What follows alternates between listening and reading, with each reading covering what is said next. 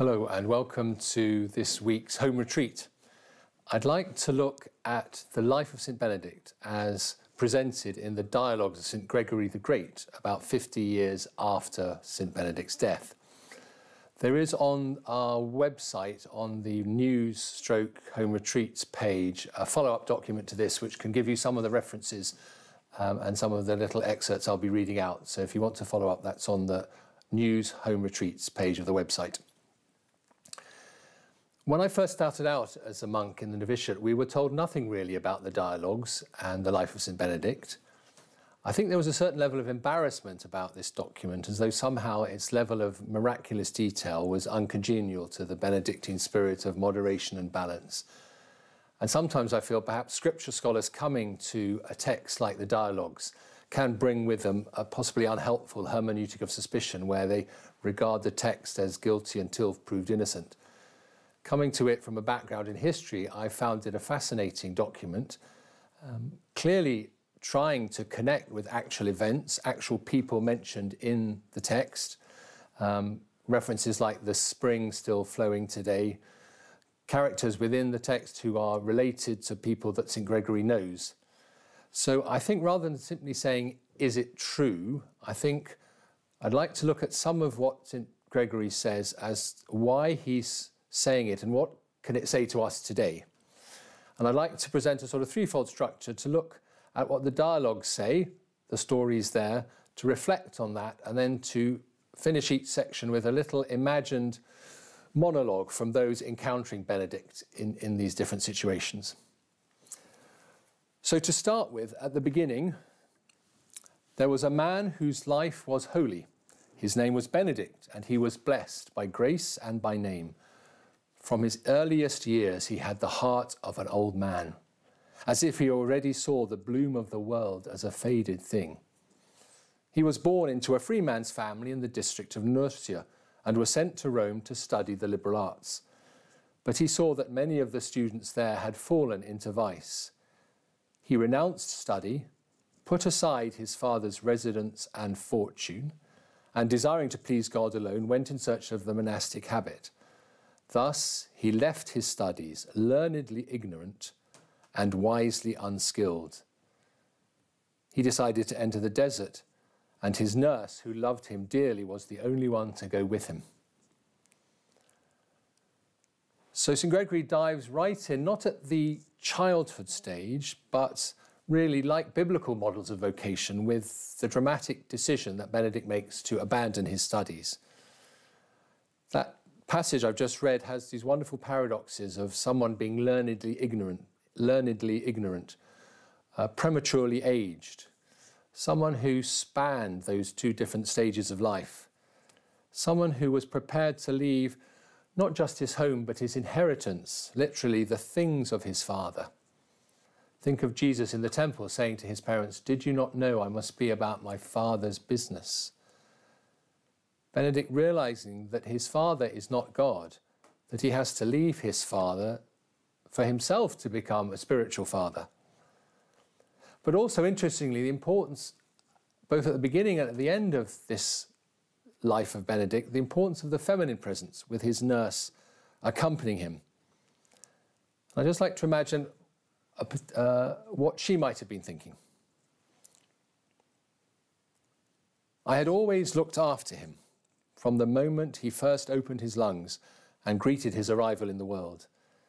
His family looked after me, and we prayed together every day. I watched him develop, an intense boy with serious eyes and a gentle heart. He didn't say much, but when he spoke, it was worth listening.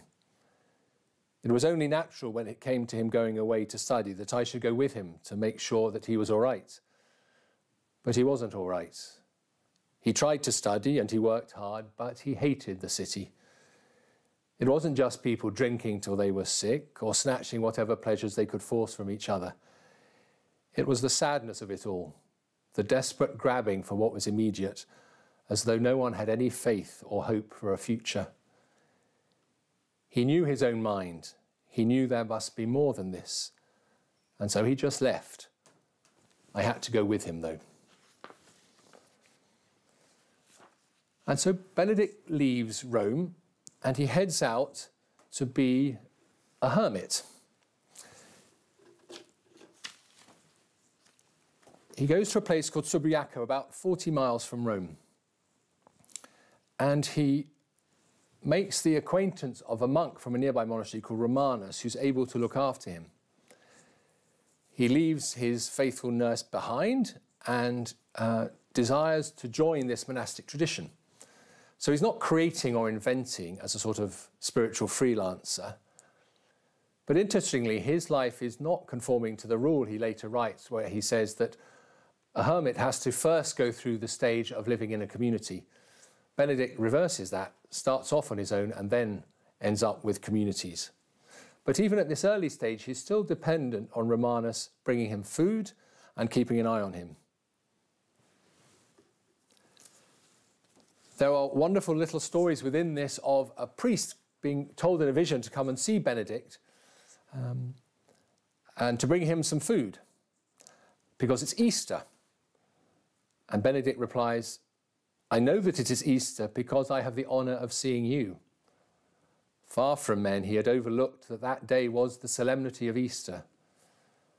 So, this man of God, on his own, unaware of the church's calendar.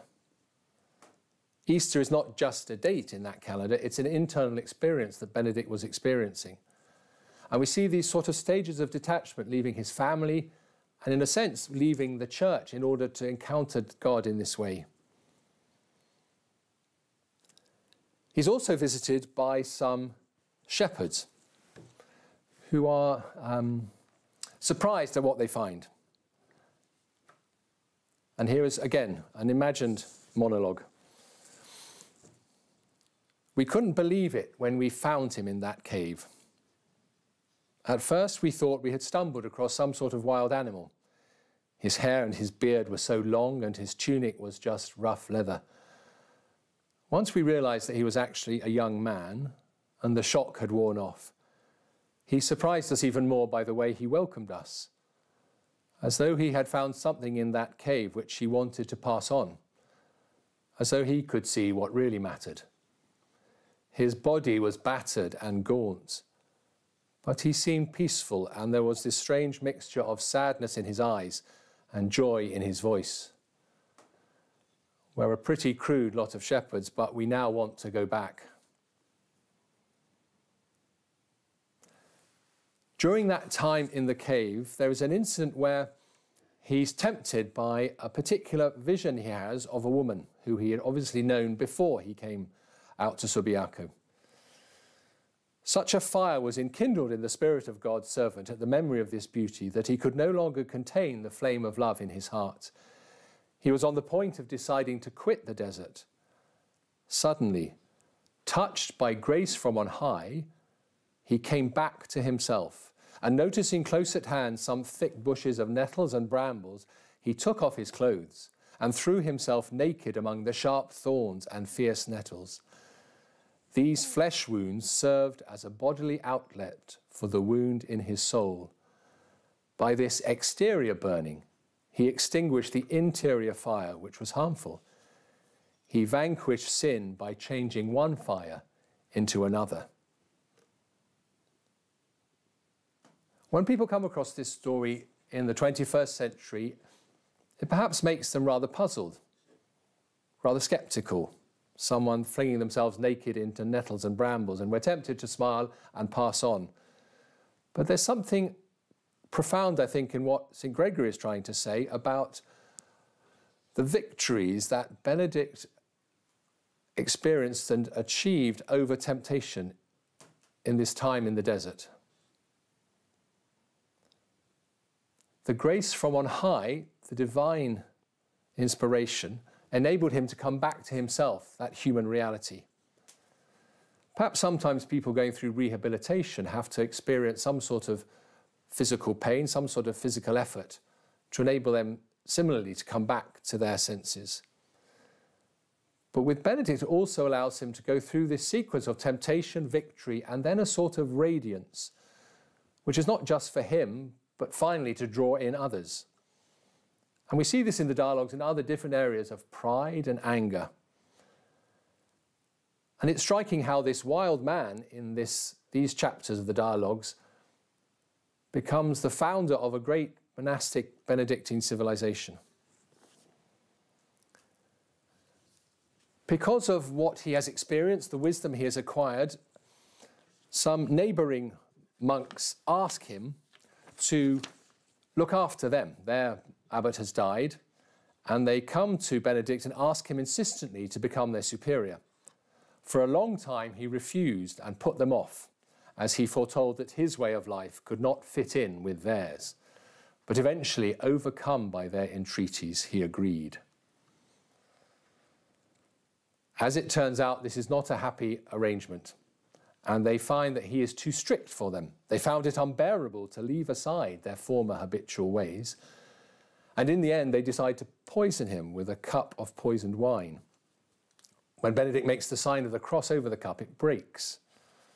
And he turns to them calmly and says, May Almighty God have mercy on you, brothers. Did I not tell you before that our ways are incompatible? Go and seek a father suitable to your ways. And so he returns to his place of solitude in Subiaco, where he dwelt with himself. That true benefit of solitude, that ability to dwell with yourself. And so finally, he's able to attract the right sort of monks to set up a series of small communities within this valley in Subiaco. And he starts his second monastery, and as St. Gregory describes the second monastery, it's clear that St. Benedict is at the centre in the sense of leading this, this group of monasteries, but he is wanting to delegate, to enable the other monks to do things. And in many ways, he de dramatizes what's going on. He's a very calm presence in the middle of some quite important events. One of them described is when a young boy um, called Placid falls into the lake at the bottom of the valley. And Benedict realizes that something has gone wrong, even though he's up further up the hill, and he asks the young Maurus to go down and rescue him. It's a famous story, and here is another reimagining of it from the point of view of Maurus, the one who rescues Placid. I still can't believe what happened. In fact, I don't like to talk about it. It's sort of spooky when I'm asked to describe it. At the time, it didn't feel special, and certainly nothing for me to boast about. There were a few of us playing outside the main house when the master suddenly shouted out for me to help. He told me that my friend was drowning in the lake. He was so clear and calm, and even had time to bless me, and I knew what I had to do. I just ran and ran and dragged him out of the water back to the land. It was only then that I realized that I hadn't just been running over the land.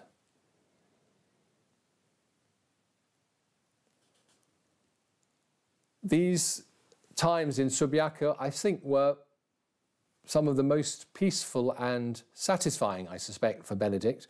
But the local priest, um, Valentinus didn't like having this man of God in his locality, and again tried to poison Benedict, this time with a loaf of bread. You may know the famous story of how the raven rescues Benedict by taking the bread away. But in the end, Benedict decides it is better to leave.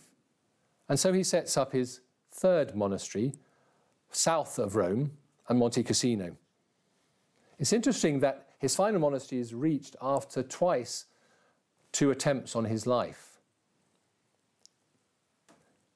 And it's, I think, important to understand how when Benedict comes to write his rule, I think towards the end of his life, how he draws on all this experience, um, both the strengths and the weaknesses of the communities he's been part of. I think the final move from Subiaco to Monte Cassino is really a shift from the hidden crucible, this narrow valley in Subiaco, to the open view of the heights of Monte Cassino on a hill. And we see this evolution within Benedict from this time of solitude and then a small monastery around him to finally a monastery which is really on the main highway into Rome. and how he destroys some of the pagan shrines, how he preaches in the local community, and how he writes his rule. And how his battles with Satan, which in at Subiaco are more hidden, at Monte Cassino become very open and audible. And Satan even feeling that Benedict is persecuting him. Maledict, not Benedict, he shouts. And Gregory describes these encounters with actual historical characters. One of whom, Zala, is a local brigand, um, an Arian, who is um, really wanting to get his hands on some of the money that Benedict is keeping in the monastery on behalf of the local peasants. And he asks, um, Zala has grabbed a peasant and bound him in order to take him to Benedict's monastery to recover the money. Um, and there's a wonderful description of how Benedict receives Zala. He's sitting at the door of the monastery alone and reading the scriptures. And he looks up and sees this fierce character with this bound peasant coming towards him and shouting, Get up and give back to this peasant the goods you have received on his behalf.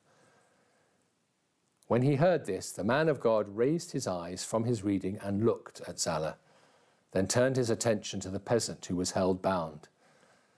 The cords binding them began to unloose themselves in a marvelous way.